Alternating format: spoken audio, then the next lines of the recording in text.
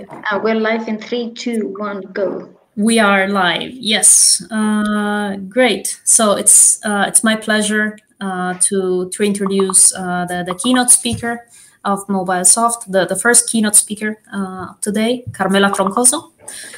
so Carmela is assistant professor at EPFL in Switzerland, where she leads the the Spring group, and so most of you may not know her because she she's not uh, from our community.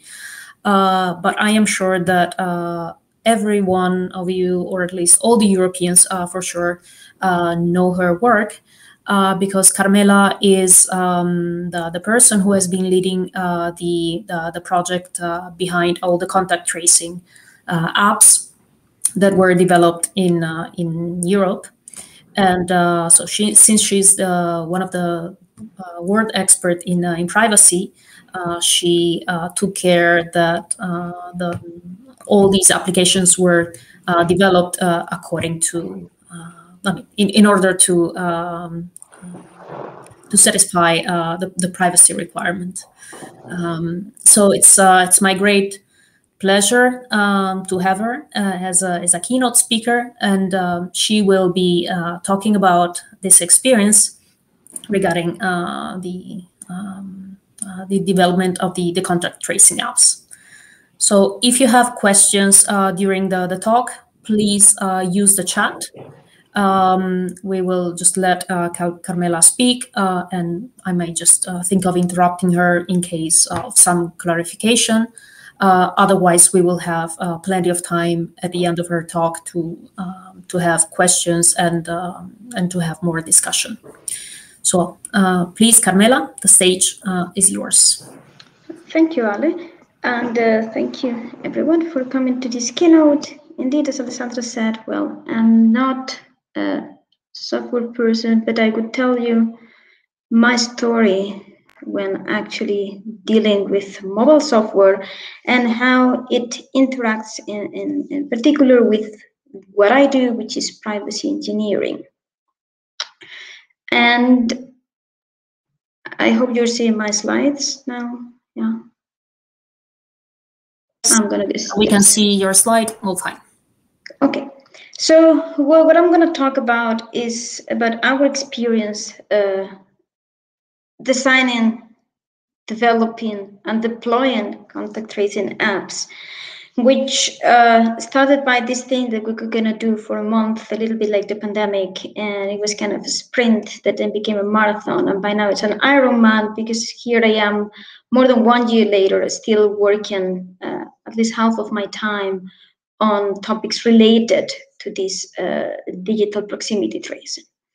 And the story started in March last year, and here is just a, here a small overview of all of the things that we have done and how a lot of the work that we have done was not uh, at the design stage, but actually later on during maintenance and support to just make sure that as the apps get got developed, we were given support to the developers to ensure that all of the privacy mechanisms we had designed actually were put in practice and the work I'm going to present here is, is not only mine, there were a big group of people behind uh, this titanic effort that ended up being these apps.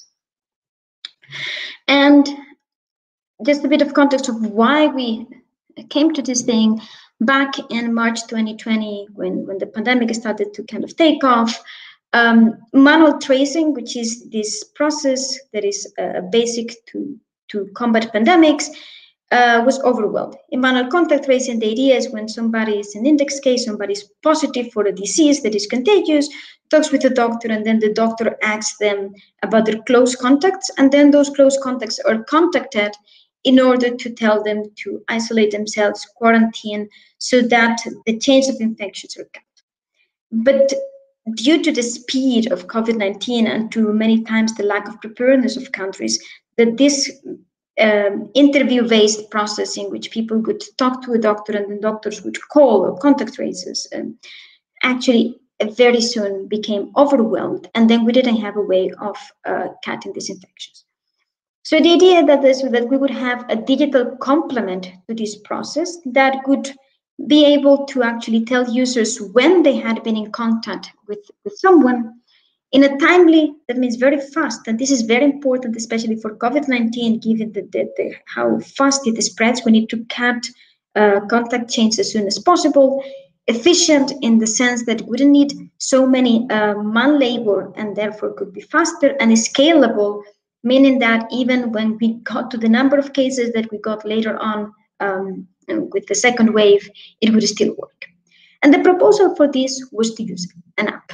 Because why an app? Because when everybody has phones, they are kind of widely deployed um, sensors, so that was a great idea. But when people talk about an app, in general, they dismiss the thing that we don't deploy an app. An app is just this program installed on my phone. But to make anything work, we actually need a complete infrastructure, an infrastructure that would leverage phone sensors and that has the app. But we also needed to deal with network, with backends, a UI towards health workers, the UI towards people that would be the app.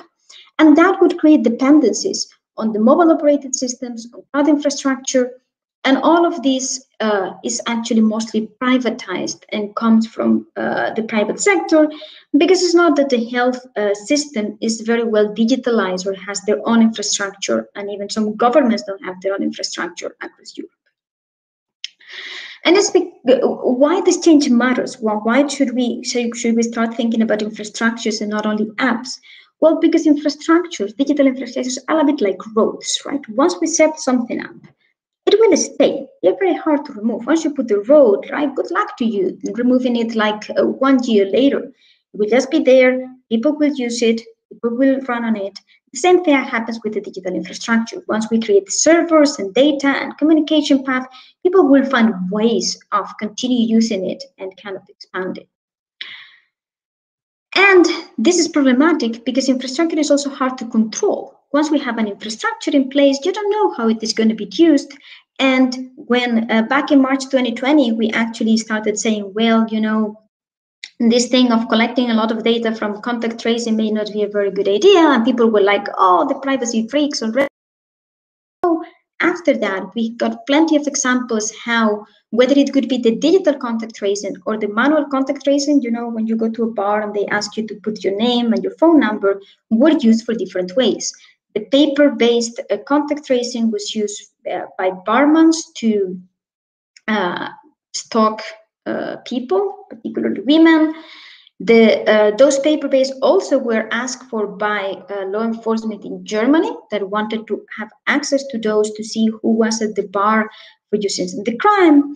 And we also learned later on that both in Australia and Singapore, the data collected using the COVID-19 uh, app data was actually made available to uh, law enforcement to be used for things beyond the pandemic.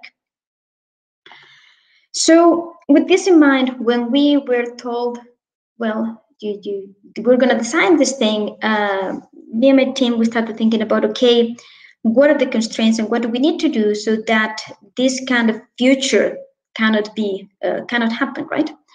And on the one hand of course we want to protect health related data because we're digitalizing doesn't mean that we're going to be uh, telling around our covid status but also we want the infrastructure to just be used for one thing which is the, the, the covid and avoid that is used for surveillance for manipulation for law enforcement or any other business and this is what we call the purpose limitation by default. Purpose limitations from those that uh, are um, familiar with the data protection uh, lingo is one of the principles that data protection imposes, which is that data is only used for one purpose, the purpose of the application. And typically we get this by just signing contracts and having very big privacy policies that nobody reads. But because we were talking about putting a system on the pocket of every Swiss, of every European, and eventually of every person in the world. We didn't want to believe in this kind of privacy policy, I swear, um, um, that I will not misuse the data, but we wanted to make sure that the system was only useful by one thing by design and by default. And what is the information that actually makes these systems repurposable? One is user's identity, who is involved, their location, because that says a lot about uh, their lives and what they do and what um, what interactions do they have, and also the behavior, mainly the social graph, who do they meet, how often, for how long, and all of those things that we know by now also, like for instance, given there's no the revelation, it's kind of metadata that actually law enforcement and surveillance is interested. So we wanted to buy to build something that could hide all of this. And of course, we also needed to preserve the security side, right? The system needs to prevent false alarms because we need to make sure that when a user receives a notification, actually they can uh, think that this is, is for real and they need to take action. And also to prevent denial of service in, to the extent possible, because if you have a system but uh, people cannot use it, then why would you put uh, an app in the phone of millions of users? And that was also very pretty and very nice. This could be actually this could be the introduction of one of my papers in the past, but it turns out that we were doing this for real. And then there comes another constraint that does not happen in papers, right? Because in papers we don't need to deploy anything.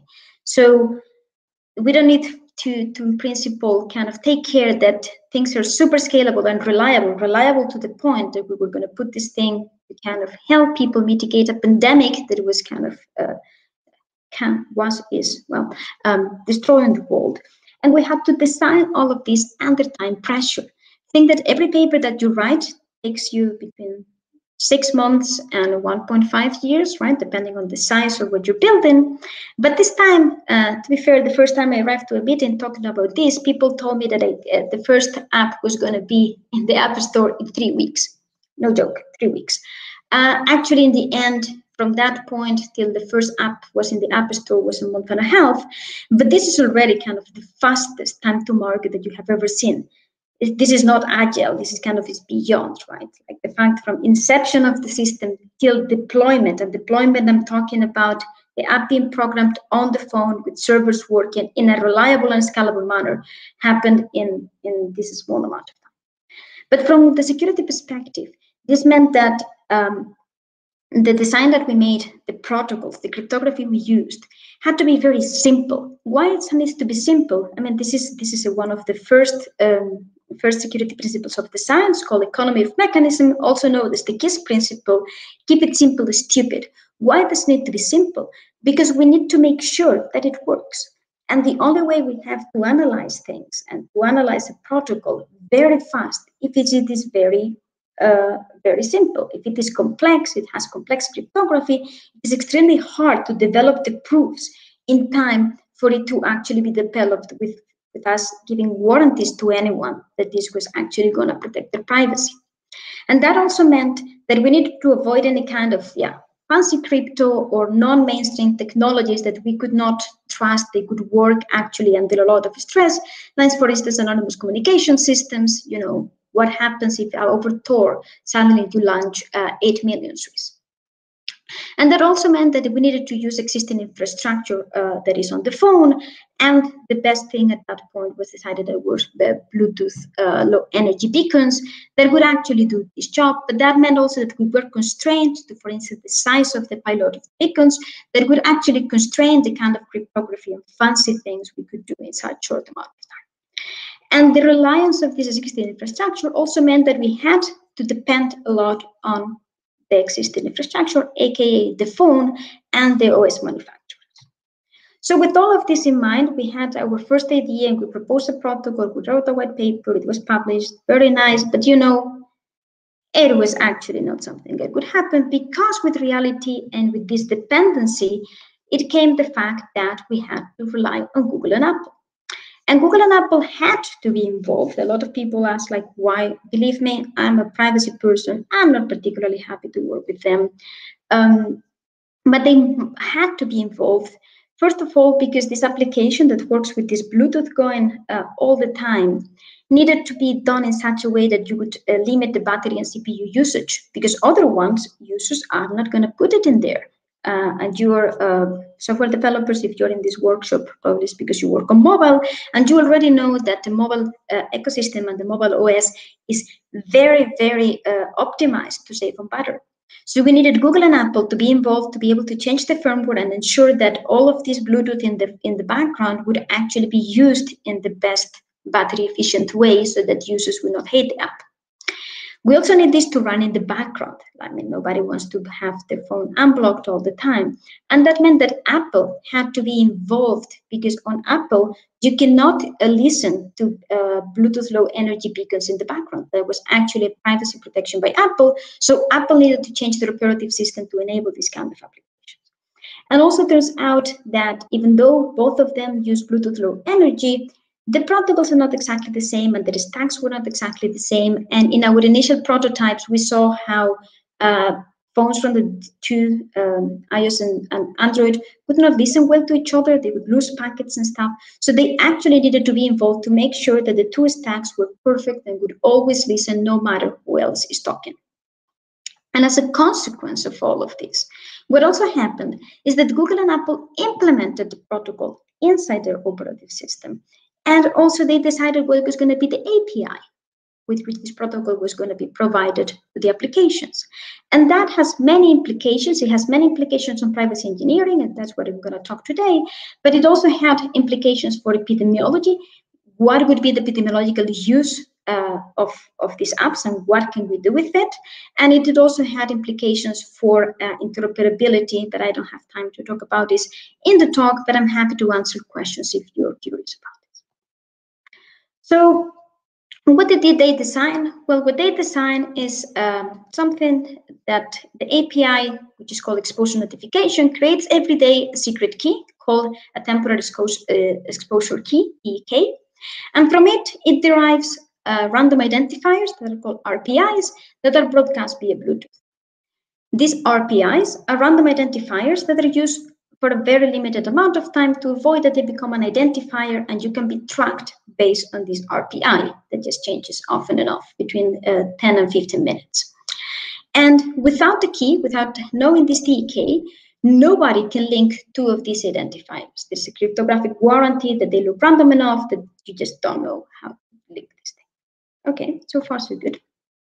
So with this, how the protocol works is that uh, a user, Alice, has uh, this key and then goes running around, assume that this is actually an RPI. And then other users also go around and their phones also go to it. And whenever users are close enough to each other, they will see each other's beacon and then they will record it in the background. And together with uh, the, the random identifier, they also record some information about the power, which they have heard this thing. And this power acts as a proxy for um, for distance and because you know signals work like like voice. If you're close you will hear me loud.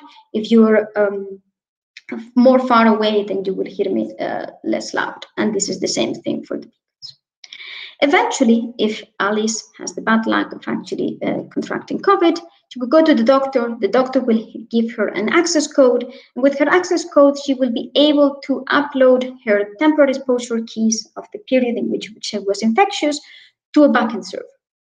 And then uh, periodically, all of the users download all of the keys from all of the positive users that, uh, uh, that have been uploaded to this backend server. And then locally the on the phone, they will compare to the lists. And um, if some of them uh, or enough of them have actually appeared in this list, and uh, given the power the, the phone concludes that the exposure was long enough and close enough. I'm also happy to discuss this on the on the on the queries uh, on the questions. Um, it will tell you, well, you have been positive and take action. Take action takes different shape depending on the country. In the case of Switzerland, it would ask the users to call a hotline in which they would receive more instructions. And this protocol has all of the properties that we want. The only information that ever leaves the phone are the T keys and only for positive users and only during their contagious period. And there is no identity, no location, and no information about others because these temporary exposure keys do not depend on the phone. They're just creating at random. They uh, rotate same as the, the RPIs uh, in a predefined schedule, not depending on the location. And you don't have any information about others because you only upload your keys, not anything that you have seen. And that means that this server here has no information available for abuse. It just has a bunch of random numbers that by themselves I mean actually nothing, and unless it has already established a surveillance infrastructure by collecting RPI, at that point, you know, you're already seeing, seeing everything, um, they would actually not have any extra information. And as an additional property, this system sunsets by design. And what we mean by that, it was also very important for us when we designed something that is going to be put out there in the name of an emergency as the pandemic, that it does not become kind of a permanent infrastructure. Remember the, the metaphor I made before with the road. So what we created is a system in which um, the server has no information that is useful. This information kind of uh, um, becomes useless by itself because you know uh, it gets deleted from phones. And if users do not upload and they do not send the server, the server is useful for nothing. And that means that it is the citizens, the ones that hold the power to sunset the system. And we need, don't need to trust any government to stop that. We just need to trust that the systems are the side. It is enough. And then uh, we don't create something that is long lasting. And for the rest of the talk, I'm going to just focus on this side, which is the side that, kind of focuses on the phone, like one of these and what does the app have to do for this and why that was hard? And what it was hard is because I have been talking all the time about this protocol, and there was so many discussions about the protocol. But the protocol is a very small portion of the system. Protocol has to be implemented in a mobile OS, used by an app, integrated in a health system. It has to actually have a lot of information from epidemiologists. Uh, be careful with uh, with this uh, impact on society so that users adopt it be law compliant. Like there are a lot of constraints that we have to take into account. And there were a lot of um, quicksand ponds on the way that I'm going to talk about. So the first one is the authorization. Authorization is crucial for security because we need to make sure that only the people that actually have positive can upload to avoid that people just upload kind of keys and then others would have fake notifications and hate the system because you know it is lying to them all the times. And what we would like is that these uploads do not uh, leak anything from a privacy perspective for the users that upload, and also that they are hard to delegate so that you cannot give them to other people and other people can upload malicious keys. And when we were designing this thing back in March, we were like, I mean, crypto for the win. We know how to do this thing. We're going to use a very particular kind of cryptography called commitments. And whenever I give you the, this access control, I'm going to commit to the content that you're going to upload in this out it's going to be great because then you can only upload the keys that you have on your phone. But it turns out that in reality, this didn't happen. On the one side, because the health systems and, and everywhere. It's very complex to actually integrate all of these, to have your phone and the doctor create a protocol to talk to each other to do this kind of commitments. And also because uh, exposure notification it may actually be very hard to do this kind of pre-removal uh, of the keys in order to put them in this commitment because they uh, google and apple decided that there should be a pop-up to make sure that the users uh, are the ones requesting the keys. So applications cannot request the keys without the user consent. And believe me i agree very much with that. But they made it as a native form. And that meant that this pop-up would appear when they decided in the uh, UX experience, creating a, a, bit of a usability nightmare. But that means that you cannot request the keys first or kind of do this commitment first and then um, have the authorization later because the users would be uh, all very confused. As a result, we have, and every country has, a very simple activation code mechanism in which the doctors give you a 12 digit code, you put it on the phone, and that is it. And different countries have different level of automatization in how these codes get to the users. And only Belgium implemented a very, very light version of the commitment scheme, but does not really do all of the things that we could have done uh, if we could have unleashed all of the power of crypto. Okay, so are we done, right? Like we're done, we have all of the privacy engineering, we did all of this protocol, we designed it very carefully. Are we done? So the real thing is that no, like remember that one of the things of our requisite was to protect health information. And that included protecting which users were COVID positive. Nowadays may not be so much of a, of a concern, you know, because now everybody knows like half of the people that have been COVID positive. And it's not anymore that COVID positive people are kind of pariahs. But back in March 2020, this was very sensitive. You know, if you were the first person, for instance, that brought COVID to your building or that brought your village and, and these kind of things. So we wanted to protect. But in the original system I described, it turns out that this network request to upload keys actually would reveal that the user is COVID positive. And when we wrote the white paper, we were like, yeah, man, this is so easy, right? We have been solving this problem in academia and all of our papers for like, like the next 15 years, the last 15 years, I have been writing about using dummy uploads. So we had this, this, this very pretty line here, like this can be demanded by using dummy uploads.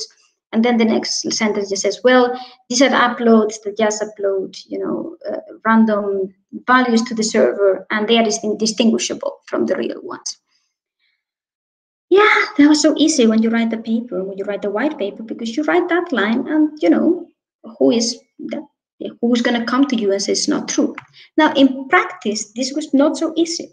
The first thing is that when we write these things in papers, we actually make an assumption about uh, what the user behavior is and whether the typical upload time so that you can make sure that you adjust yourself.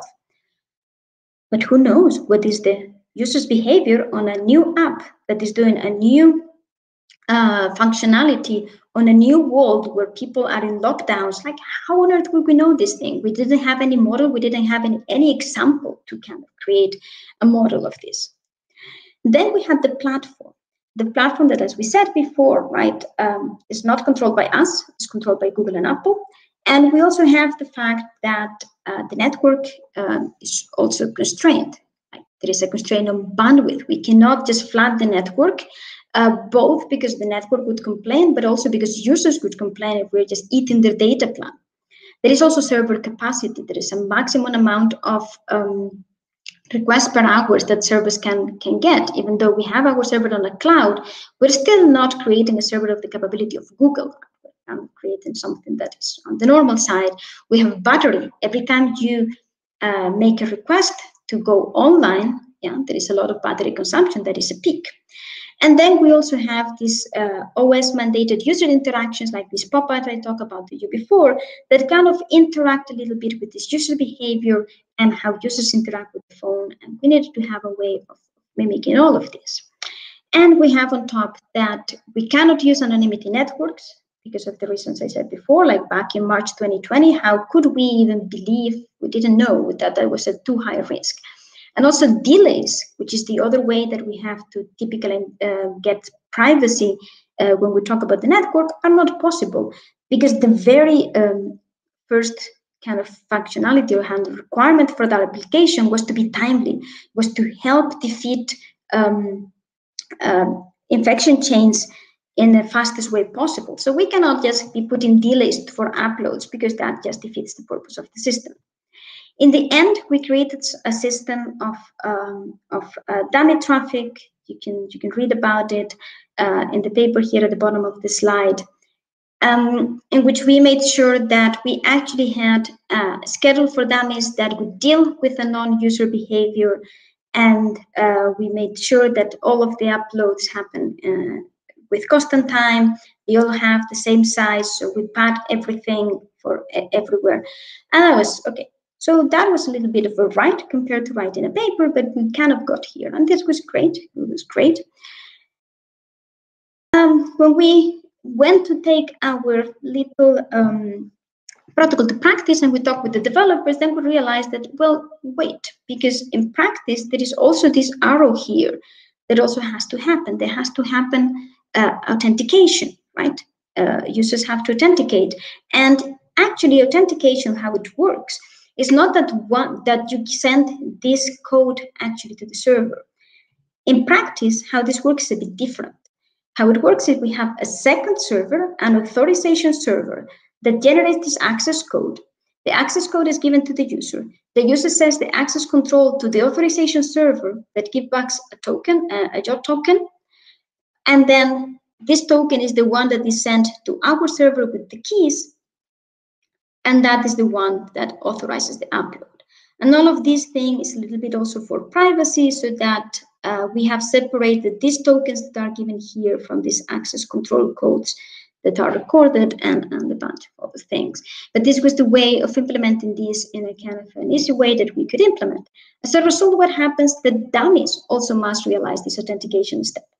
That means that both servers have to consider dummies, have to understand that there are access control to the dummies, that there are tokens that are dummies that would come with keys that they don't have to, to store.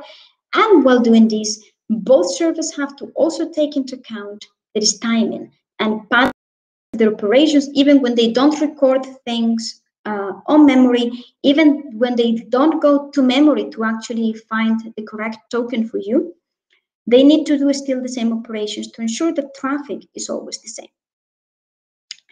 And then there was a second surprise for us, which came again from the fact that Google and Apple gave us an API and they decided the API for themselves without considering what applications had to do and privacy engineering that came at the application level and not the protocol level.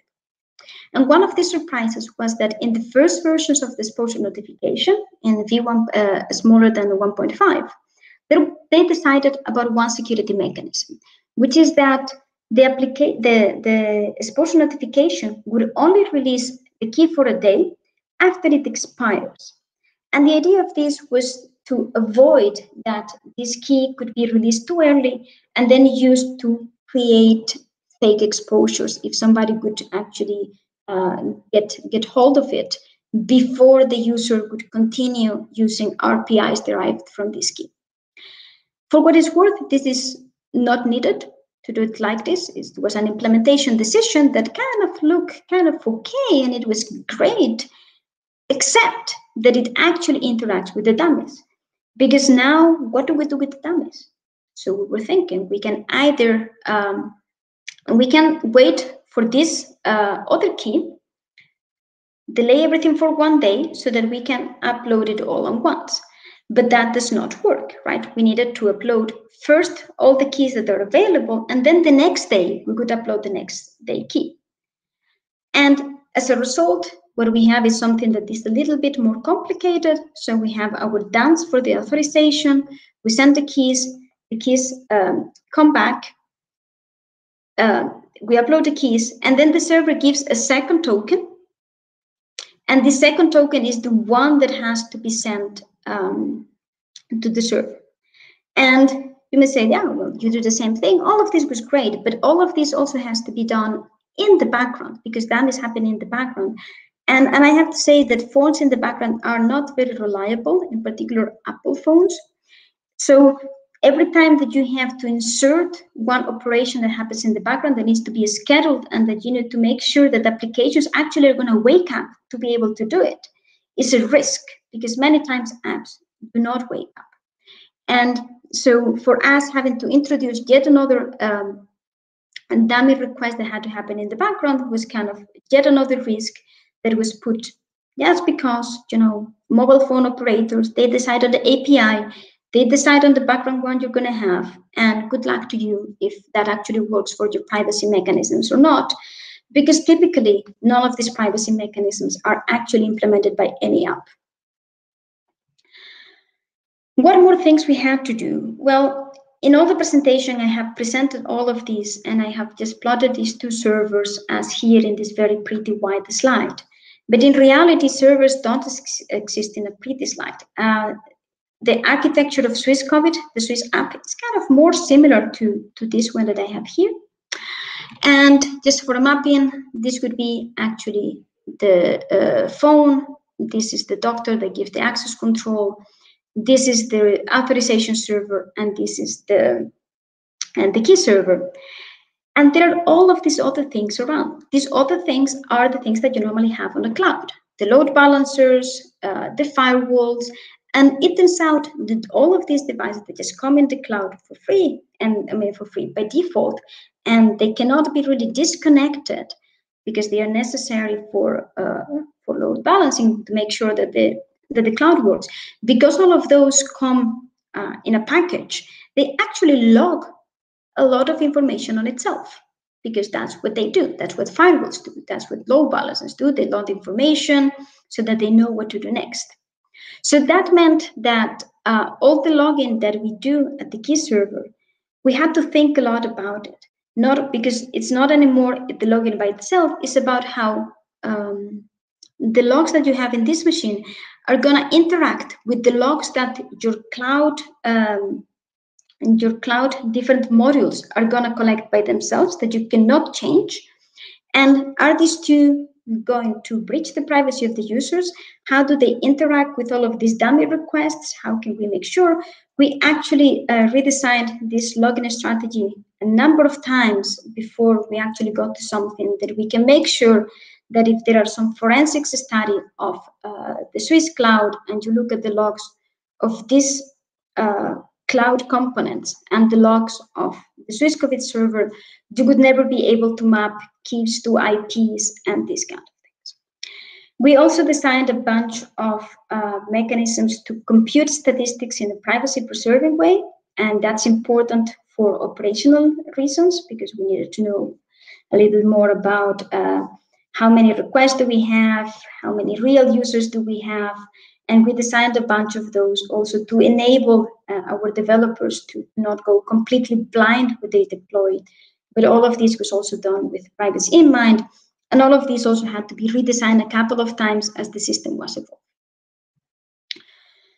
This mechanism, the, the, the exposure notification derived from our work in DP3T is by now implemented in all of these countries. Uh, it may be that now there are a bunch more new states in the United States. I haven't uploaded this graph in a while.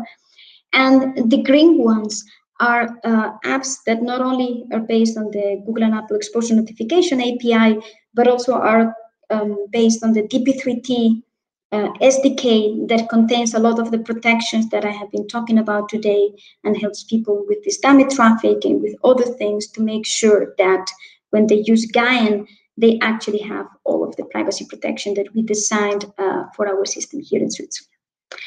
And all of these, uh, well, by now we have around uh, a little bit less than 2 million users in, uh, in Switzerland.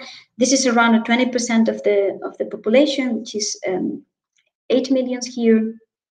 It's a little bit more than that, around 25% of the eligible population to have a mobile phone. And more and more, we're seeing how studies come out that show that uh, digital proximity tracing actually has an impact on the pandemic. It actually breaks um, breaks infection chains, and in particular, it um, it breaks them faster which is one of the main goals.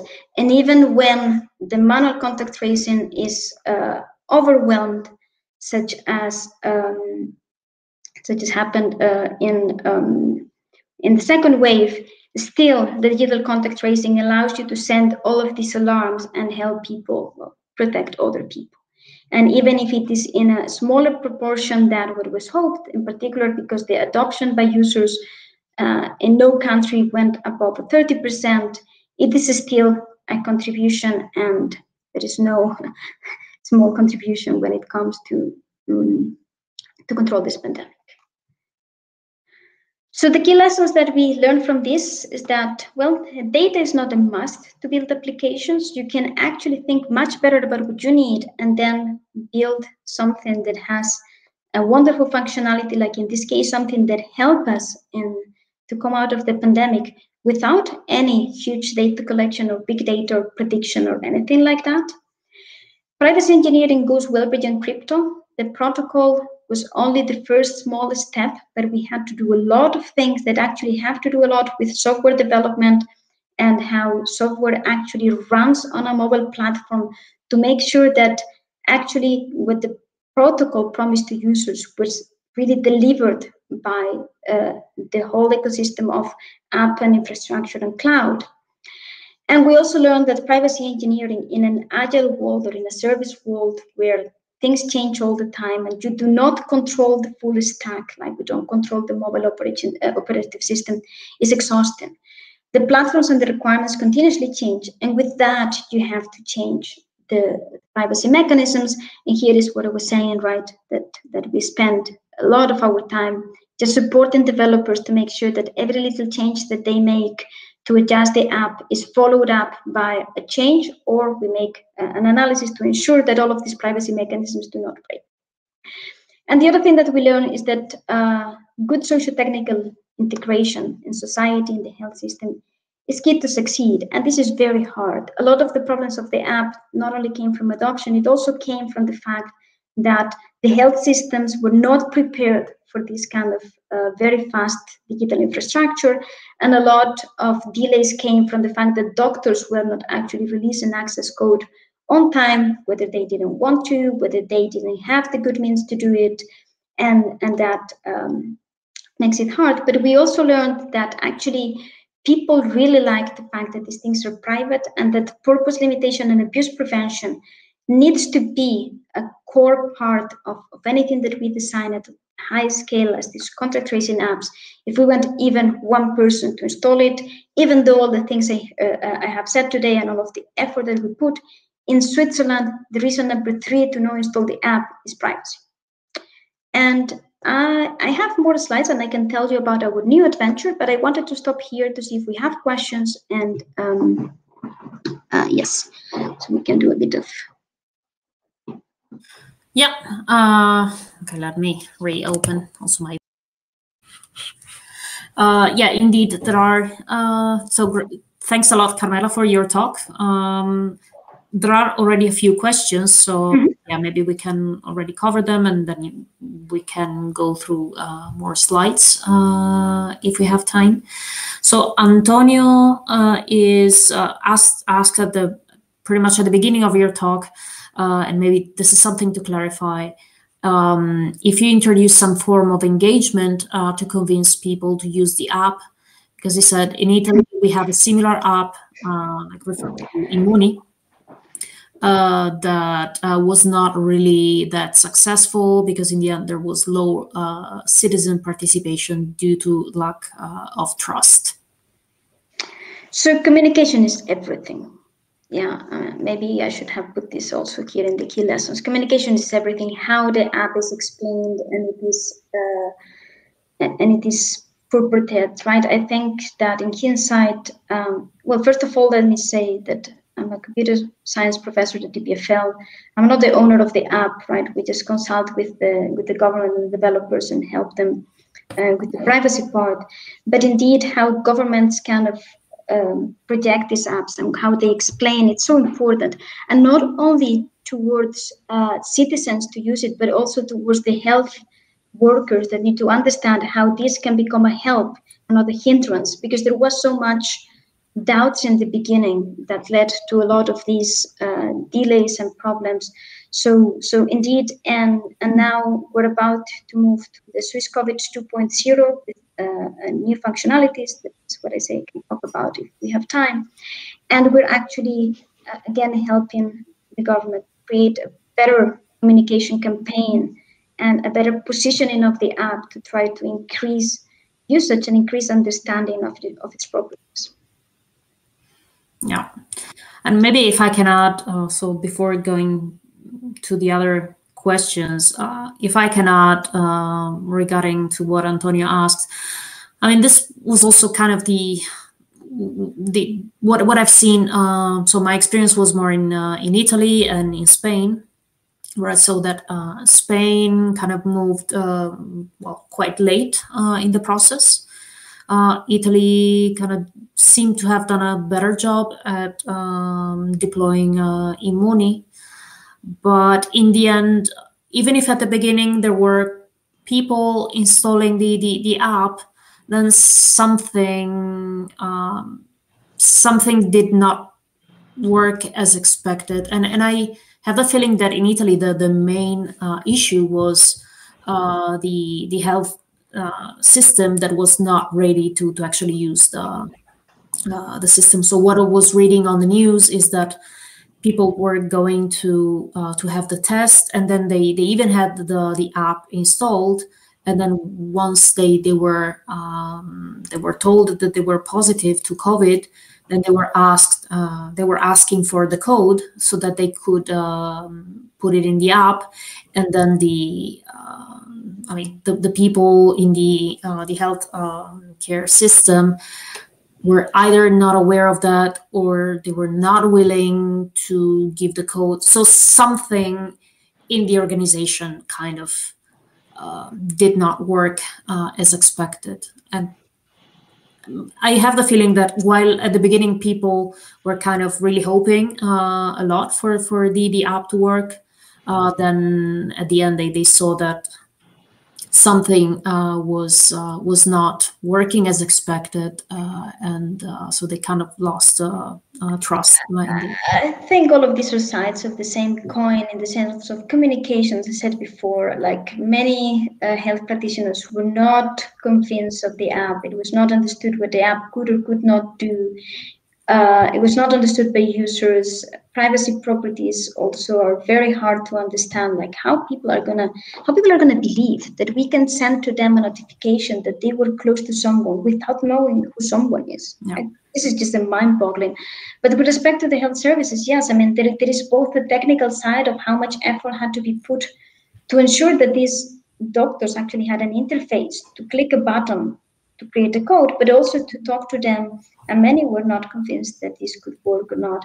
But I think all of it really goes back to this to this communication and many times to the yeah to the big technological circles that we like to have. That technology is going to solve it all, but you know technology can only help right people. And if we don't have people working, then then it does not matter.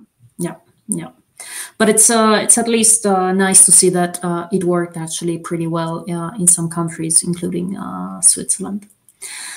Um, so then Konstantin has another question. He says, "Did you perform any user study to understand the usage model? What are the user uh, reviews?" There was no. I mean, there were plenty of different user studies. Um, um, I can give you links to work here by the University of Zurich. Uh, the Netherlands also made a lot of very nice surveys asking people why do they use the app, why not, what are their things. Um, if it is about how people interact with the app, I don't think that there are so many studies about this. But it's also because the app is the most silly app that you have ever seen, right? It does nothing. You just install it and and it just does there. Actually, this is very funny, right? Because uh, a lot of people think and they have the perception that it's not working because they don't. And you're like, well, I mean, yeah, if you were not with somebody, like you shouldn't, right? The fact that there are no notifications does not mean the app is not working. It means that you're doing well.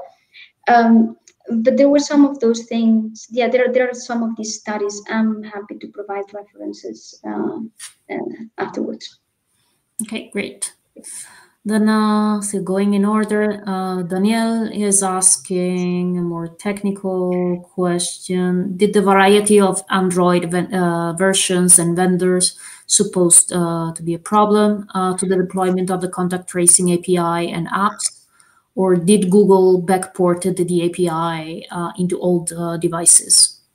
That's a very good question. Google backported quite back. Apple did a bit of a worse job at that, uh, which actually was a huge pain for us because it, it turns out that Google and Apple made a lot of decisions and did a lot of things, but you know who gets the fire? The people that put the app uh, out there, like the countries that put the app out there.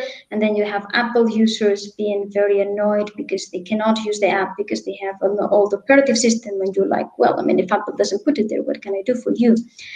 Um, Google was a bit better at that, but still there were differences, especially with respect to manufacturers, in the things as I was saying before, like uh, how different manufacturers and uh, versions uh, work with the background time of applications. That was a bit painful, and and a, lit, a thing that made it also quite painful was the fact that we work without any feedback because these apps don't have Firebase, they don't have Crashlytics, they don't have any reports that come back to protect users.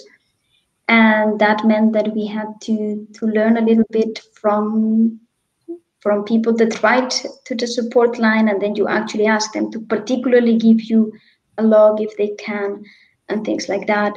And, and for some of these things, it was very hard to know where things were going wrong. Uh, I can tell you that uh, three months ago, we had a big because uh, some Google versions actually went crazy and started using this dummy traffic. Uh, we saw a peak of I don't know 30 million users. I told you there are 80 million people in in Switzerland, and uh, we didn't know why or how, and it just uh, worked. I mean, eventually there was a bug, and eventually disappeared, and Google and Apple did that, but we never knew which version was it or why. Interesting. Uh, okay, more questions. Um, so uh, Konstantin again is asking, what are the attack vendors? The attack vendors? Yeah. Maybe Konstantin, can you, can you clarify the question? Because I am not sure I understand it. Maybe the, the, the possible attack vendors to to to the protocol. Uh, like what kind of like uh well i don't know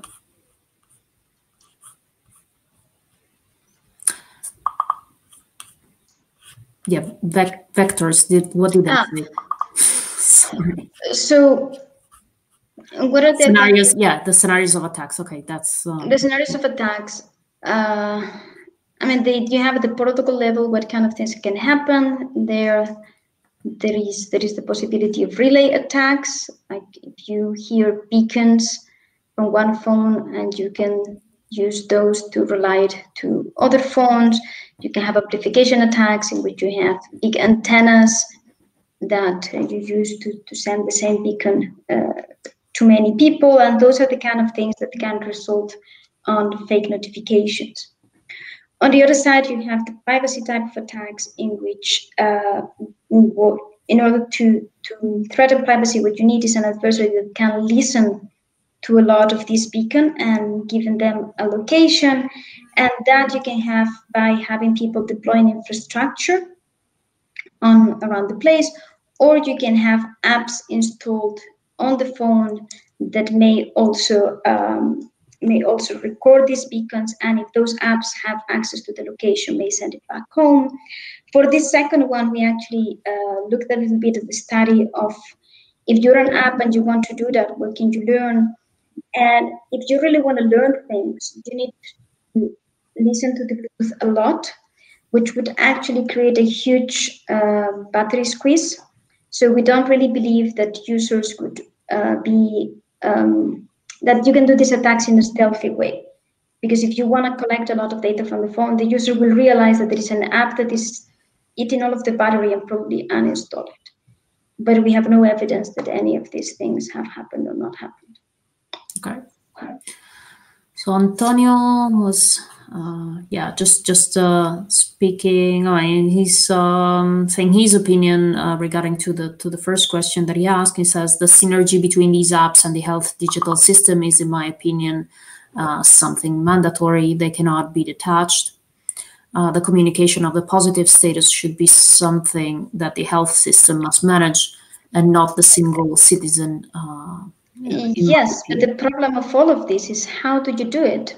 and how do you do it in a month okay because again let, let, let's let's like in hindsight like there is a lot of things that we can do and that nowadays we do better right nowadays for instance actually nowadays the the delivery of codes in switzerland is much more automatized there is a lot of machine to machine uh, conversation so that these codes are delivered to the user without so much intervention of the cantonal doctor which uh, makes it much smoother and they get faster. Now, this took us like eight months to make, be able to actually make it happen. Also, because for that, you need to also take into account a lot of laws of which service is allowed to actually know the positive or which, which server would know the positive status of a user to send an indication to another server that actually can send an access code. So, well, we all agree on this and we all learned a lot uh, some of those things are just very easy to say, or, or to me, right? It's very easy to think about many of these things when I write them on papers. Nowadays, I have learned a lot about how hard it is, especially when you need to connect, like in Switzerland or Spain, the health systems of all the cantons or regions which are independent all together to a huge database and to an only one huge server. So I, I agree on all of these, uh, but yeah yeah next time it's going to be much better hopefully there will there there won't be another next time at least for for covid uh, but yeah I'm, I'm sure that uh um, this kind of protocol def definitely has um, potential applications for uh, for other situations uh, beside the pandemic. Um, so there is another question from uh, Danielle um, regarding what you were saying. Uh, you were talking about Crashlytic, and he uh, he's uh, saying, I heard rumors uh, that the Spanish uh, version had Firebase in the application, but it's, I mean, not sure whether it was a bad pull request or or what happened exactly in there.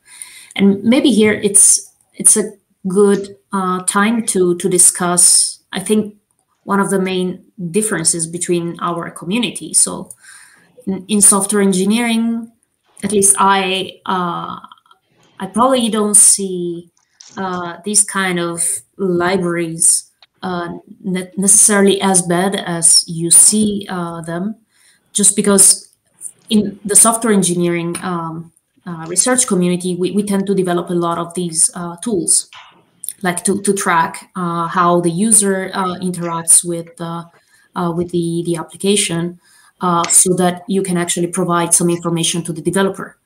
Uh, so I see the good side of libraries like Crashlytic because obviously you, you can provide some feedback to the developers, but obviously obviously you see the other side of the coin uh, that is the, the, the potential privacy uh, issues uh, that you can have with uh, with these libraries.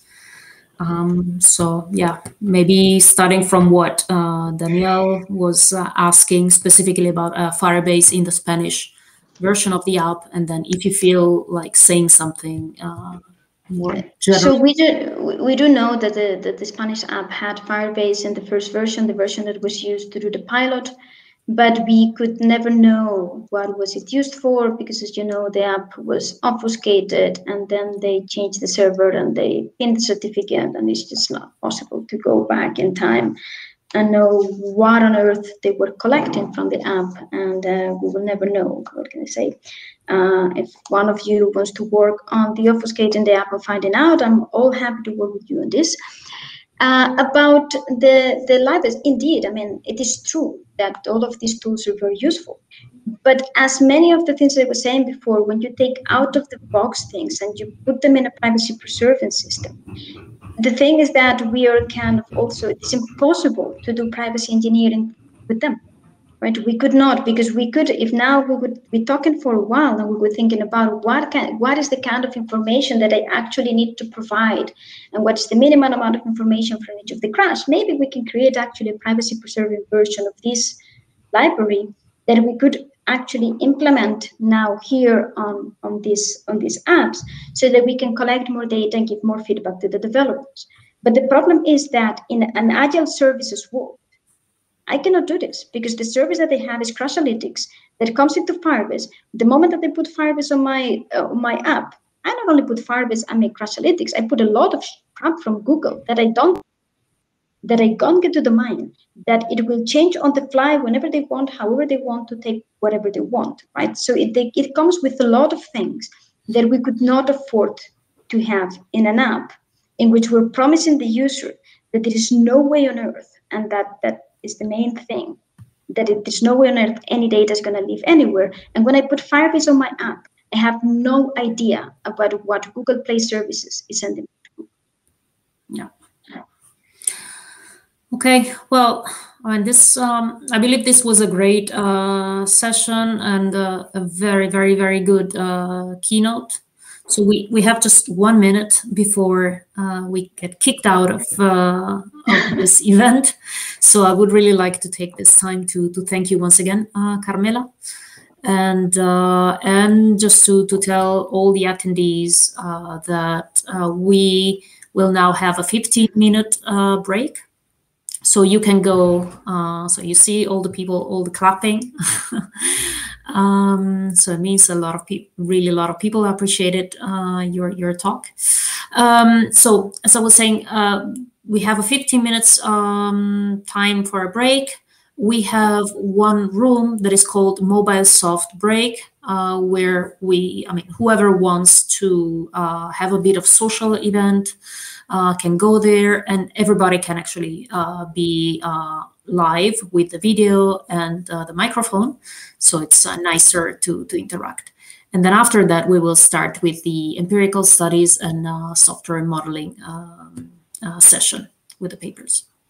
So thanks a lot, Carmela. It was really great to have you here even if uh, unfortunately just uh, virtually. Thank you guys for the invitation. It's really great to interact with other communities and